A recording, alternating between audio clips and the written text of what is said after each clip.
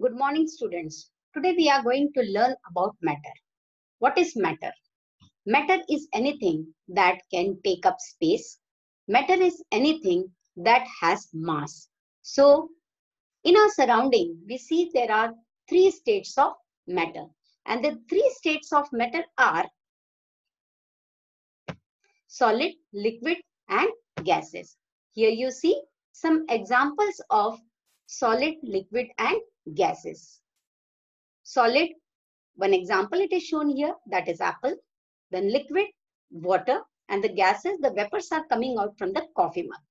Now we will see properties of solid, liquid, and gases.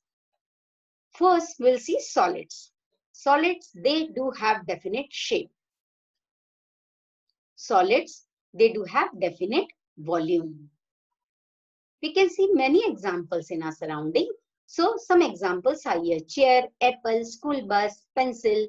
Many more you can think and list out the examples of solids. Now, why they do have definite shape and definite volume? Because particles of a solid, they are very close to each other, tightly packed. So due to that, they vibrate just one another to and fro. They do not move from place to place.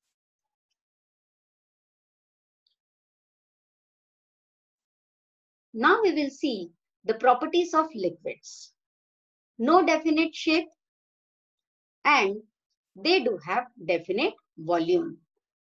Means when we pour liquid in any container, it takes the shape of the container. But the volume, it remains same though we change the container shape. Like in jug, the shape of the juice, it is like a jug in bottle water it take the shape of the bottle and so on for the milk in the glass. You give list out many more examples. Why it happens? Because the particles of a liquid they are close together. They vibrate pass on one another. So due to that little movement we can see in the particles of a liquid. Gases. No definite shape and no definite volume. It means they can take the shape wherever they get the place. And due to that, the volume also do not remain fixed. Examples are the smoke which is coming out from the engine, gases are coming out from the volcano, and the gas which is filled in the balloon. List out the other examples. Now, why it happens? Because the particles of a gas not close together very spread out, vibrate freely, pass one another. So due to that, they can take any place. Now we will see one particle activity. Interesting one. Now here you will see one magnifying glass, solid, liquid and gas. It is kept in the beaker. By that you can see that the how molecular arrangement is there. First you see the Uh, thing it is kept in the beaker. So how it will show the molecular arrangement in this one. Magnifying glass. See it.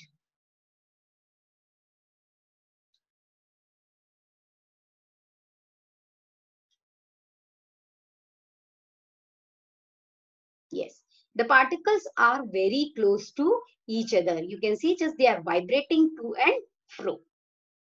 Now we will see second one.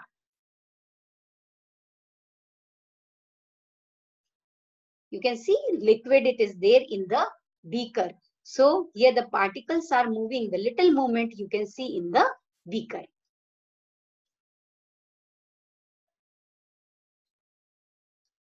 Now, third one is the gases. These vapors are coming out from this beaker.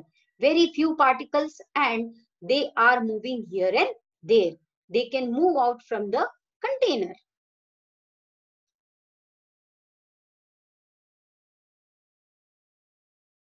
Now one comparative study of solid, liquid and gas, one more particle activity. See here, three columns are there, solid, liquid and gas. Now we will do the review game. Then name that stage of matter. First one is juice. So juice, it will come in liquid. Yes, you are correct. Now, Second, it is given definite shape and volume. So definite shape and volume, it is the property of solid. Then here given the particle arrangement. This particle arrangement, it is of solid. So it will come in solid. Fourth one is very few particles and very far. So I think it will come in gas.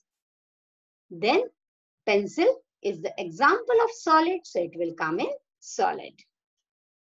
No definite shape and definite volume they have. So this is the property of liquid. So it will come here. No definite shape or volume. This is the property of gas. So it will come in gas. Then the particle arrangement, it is showing for the liquid, I think. So this will come in liquid. You see, here it comes in liquid. Then the gas balloon. So the balloon, it is gaseous state, the gas which is there in the balloon.